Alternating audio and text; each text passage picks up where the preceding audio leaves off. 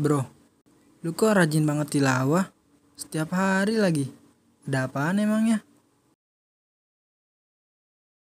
Ini gue ikutan audit mat. Oh, Odoj. Apaan tuh Odoj? Asik tuh kayaknya. Iya, namanya One Juice.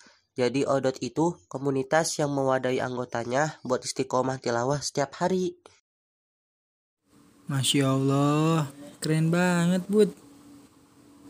Pengen deh istiqomah tilawah begitu setiap hari.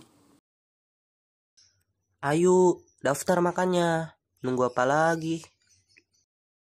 Tapi bud, hmm, Tapi kenapa, Mat? gimana ya? Malu gue bilangnya malu bud. Ya ilah, santai aja kali. Kita kan udah temenan semenjak lu sama gue masih digendong emak pas tidur. Gue masih berat buat tilawah satu juz sehari bud. Namanya aja one day one juz kan. Lu kan tahu, gue kerja pulang malam, ngelembur, nyampe rumah capek banget, langsung tidur. Habis subuh berangkat kerja lagi. Takut nggak ada waktu gue bud. Ya, lu Mat. Katanya mau istiqomah. Masa udah pesimis duluan? Nih, gue kasih tahu ya. Odot itu ada beberapa program. Program yang ramah buat anak-anak sampai lansia, termasuk yang sibuk banget kayak lu. Program apaan emangnya bud? Gue jadi kepo banget nih. Yang pertama, Odot kayak namanya sehari tilawah satu juz. Yang kedua, Odaf.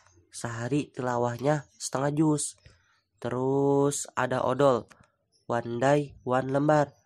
Nah, ini buat anak-anak biasanya. Bukan odol pasta gigi ya. Nah, yang terakhir, Odot Star. Bebas sehari mau tilawah berapa aja. Yang penting minimal satu ayat. Nah, gimana? Udah ada gambaran belum mau masuk program yang mana? Wah, banyak juga ya, Bud. Gue kira cuma satu jus aja sehari. Gue mau nyoba yang Odot Star dulu deh. Seenggaknya latihan buat istiqomah tilawah setiap hari. Kalau gue lupa, lu ingetin gue ya. Ya udah, ini gue kirim link pendaftarannya lewat WhatsApp, lewat WhatsApp ya. Iya iya, ntar gue teror HP lu kalau lupa tilawah. Siap, Bud. Terima kasih banyak atas infonya, Bud. Iya, sama-sama, Mat.